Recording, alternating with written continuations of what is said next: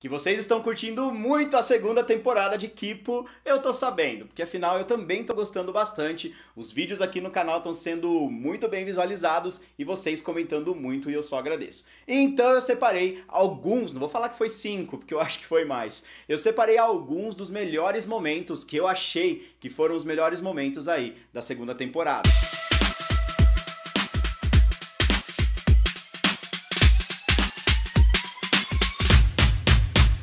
E eu começo com a Mandu versus a doutora Emília. Esse momento, com certeza, foi um dos mais legais da série. Porque tadinha da Mandu, ninguém tava ligando para ela e ela queria ser vista, ela queria ser útil para a equipe. Então, depois que a doutora Emília prendeu todo mundo, só sobrou ela. E ela foi lá e deu conta do recado. Ela venceu a Emília numa batalha muito legal muito legal mesmo. Foi um dos melhores alívios cômicos da segunda temporada. E a gente continua falando do Dave, que com certeza teve muitos momentos engraçados. O Dave é um prato cheio de alívio cômico para a série. A gente teve um lance dele com o Jamak, eu não sei se rolou um feeling ali ou se simplesmente o Dave pensou: o lugar da equipe de bichinho de estimação é meu, hein? Se bem que a gente tem a Mandu ali como bichinho de estimação da equipe. Mas o Dave é responsável por protagonizar os melhores momentos cômicos da equipe toda. Ah, me joga lá com os meus amigos na jaula e joga ele lá.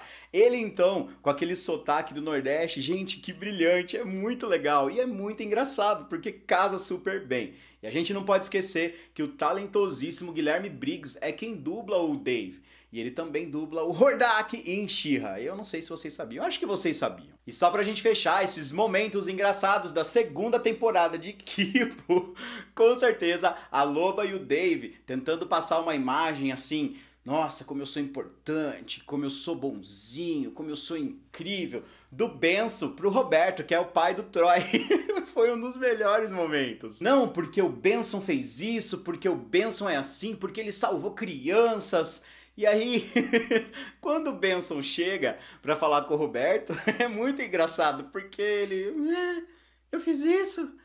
É legal, né? É, eu só falei para eles falarem bem de mim, porque eu tô afim de conhecer melhor o seu filho. Deixando um pouco a comédia de lado, a gente vai falar sobre os momentos que tiveram mais emoção, que tiveram um diálogo mais profundo, mesmo que não fosse falado, mas visualmente. Quando a Kipo chega para dar água para a mãe dela, que tá amarrada na árvore ainda na forma de mega macaca, cara, aquele momento foi muito, muito legal, foi bastante emocionante porque só a Kipo fala, mas o olhar delas e ela fala assim: "É você, né, mãe?"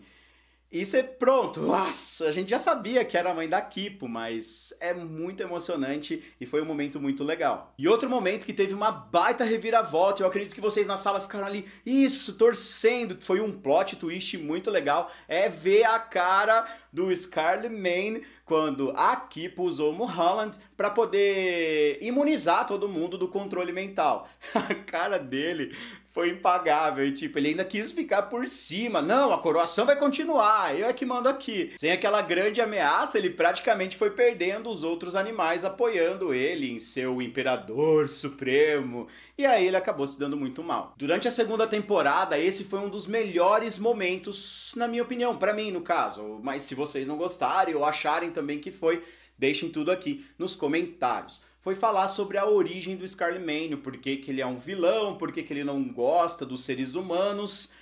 E realmente foi bastante esclarecedor e eu gostei muito, porque desde pequenininho ele só conheceu a mãe e o pai da Kipo. E aquilo desmoronou, tudo aquilo acabou. Não justifica ele ser vilão, porque tem um diálogo lá que ele fala assim: é, vamos fazer os humanos fazerem o que eu quiser, eu quero me vingar deles.